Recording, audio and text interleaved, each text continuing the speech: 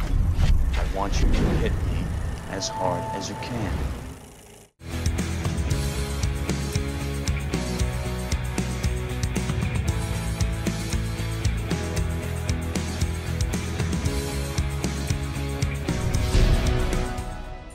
Hey everybody, it's Chris Bumbray here again for JoBlo.com with another video edition of the best movie you never saw. And this week we're taking a look at the much maligned but pretty damn cool Halloween 3 Season of the Witch, starring Tom Atkins as a troubled doctor who stumbles upon an evil plan hatched by a diabolical CEO of the Silver Shamrock Novelties Company, where on Halloween night, the masks they've created for children come to life and kill their wearers. Now, in addition to Tom Atkins, this co-stars Stacey Nelkin and Dan O'Herlihy, who you may all remember as the old man from RoboCop, and it's written and directed by Tommy Lee Wallace, a close collaborator of the director of the original Halloween, John Carpenter, who returned to do the score with frequent co-composer Alan Howarth. Now, following Halloween 2, John Carpenter, who was already reluctant to participate in a sequel, decided that Michael Myers had run his course. Oh, how little did he know.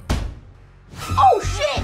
Instead, his idea was to turn the Halloween franchise into a series of anthology movies that could be loosely connected by the holiday, but also be completely independent of each other. To that end, Carpenter took a step back, hiring Tommy Lee Wallace to write and direct the new film, which departed from the slasher formula and took the film into the world of witchcraft and science fiction. With Carpenter favorite Tom Atkins as his leading man and a very modest $2.5 million budget, Wallace made a pretty interesting little movie that's wholly original compared to the first two movies. Despite a few good reviews though, the movie tanked at the box office, only grossing 14 million, which isn't bad for such a cheap film, but far less than what Universal was anticipating. Apparently, fans were disappointed that Michael Myers wasn't in it, and ever since, he's been a constant presence in the franchise. There are still people that come up to me and say they hate Halloween 3 because it didn't have Michael Myers in it. I tell them that that was 25 to 30 years ago. Get over it. We had a wonderful time making it, and I think it's a good standalone movie. John Carpenter originally wanted to make a story every Halloween that would be different, but the producers said no because Michael Myers is making so much money. They told him that we could shoot Halloween 3,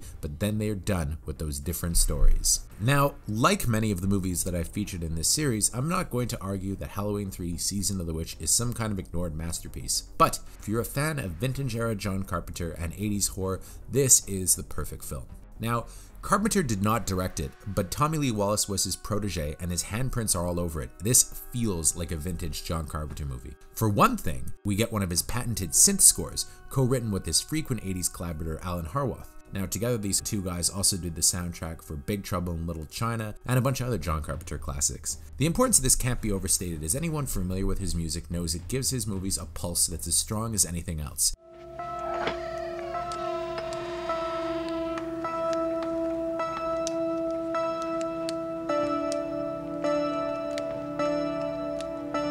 They also have the original's Dean Cundey as the DP, so even if Michael Myers isn't around, this still feels like a Halloween movie, although a lot of people thought that Halloween should have never actually been part of the title. Tom Atkins himself said it should have just been called Season of the Witch and not put Halloween with it at all, because if it doesn't have Michael Myers and people thought, what the hell is this? Over time, it's become very popular on its own, as it had always intended to be. It's curious to wonder how this may have fared had it just been called Season of the Witch, but at the same time, Halloween as a franchise was a double edged sword. They wanted the fans to come in, but they also knew that these same fans wouldn't be getting a Michael Myers movie. It'd be like doing a Jaws movie without a shark. It's worth noting, though, that Dan O'Herlihy's CEO of Silver Shamrock is way more evil than Michael Myers ever was in the first place. Now, Michael Myers is just a blunt tool. He just kills without reason. Dan O'Herlihy, he's CEO of this company wants a big body count. He wants to use pagan magic to kill thousands of children with his evil masks. I mean, this is not a nice guy. Herlihy became very well known to my generation a couple years later as the old man in Robocop, and he's absolutely perfect as the baddie with this kind of Irish charm that hides the fact that, well, he's pretty damn evil. It was the start of the year in our old Celtic lands, and we'd be waiting in our houses of wattles and clay. The barriers would be down, you see, between the real and the unreal. I have to say, also love Tom Atkins as our everyman hero. He's a familiar figure from 80s action movies. He's in Lethal Weapon as Murtaugh's old friend from Vietnam who gets killed pretty early on. And to me, there's something very authentic about Atkins in all of his 80s films. That maybe he's a little too surly, a little too drunk, and a little too hungover all the time to be playing a doctor, even a burnt out one, but he's kind of an awesome anti hero, and no one can say that he doesn't play the part to the hilt. I mean, that last scene where he's screaming into the phone, Stop it! Stop it! Stop it! is pretty great. Now, being the 80s, there's also tons of gratuitous nudity and some really creative gore in this one. So, if you're a fan of that kind of exploitation, well, this one's right up your alley. It's a shame that Carpenter's anthology plan didn't work out, and a few more fun one offs like this one would have been way better than the mediocre Halloween sequels we got over the next 20 years. Although I have to say, the franchise certainly was given new life last year with David Gordon Green's new version of Halloween, and well, we've got two more Michael Myers movies on the way. Now, one thing I should mention about Halloween 3 Season of the Witch is that if you watch this movie, Silver Shamrock's little jingle is going to get implanted in your head, and you're not going to be able to forget it. I mean, it's a very, very, very, very, very catchy, but also very, very, very annoying tune. Happy, happy Halloween, Halloween, Halloween. Happy, happy Halloween, Silver Shamrock. When I worked at Blockbuster Video, a friend of mine, Ruel, he used to sing this song all the time when he would get really upset.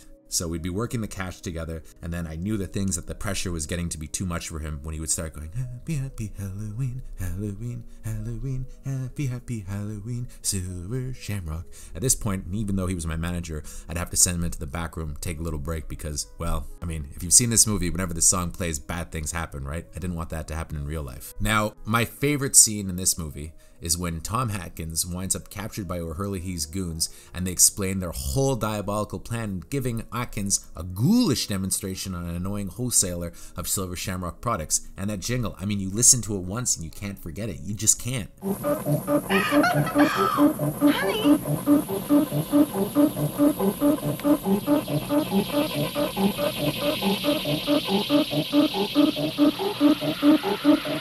Now, if you want to see Halloween 3 Season the Witch, it's easily available on most streaming sites and on DVD and Blu ray, but I have to say, there are still a lot of people that hate this movie. I wrote it up a couple of years ago, and the comments were so bad that, well, we had to turn the comments off on this one because people still, I don't know why, harbor really, really strong sentiments against it, even though the movie came out in 1982. I still love it, and I think that if you take away the name Halloween, this is just a great 80s horror movie on its own two feet, and I really enjoy it, and I've always enjoyed returning to it. It's cheesy, but again, it's a lot of fun. It's not a classic, but on its own merits, you can't go wrong watching it, or especially around this time of year. For me, it's one of the great hidden gems in John Carpenter's filmography, and I recommend checking it out for a good time. Until next time, I'm Chris Bumbray for JoBlo.com.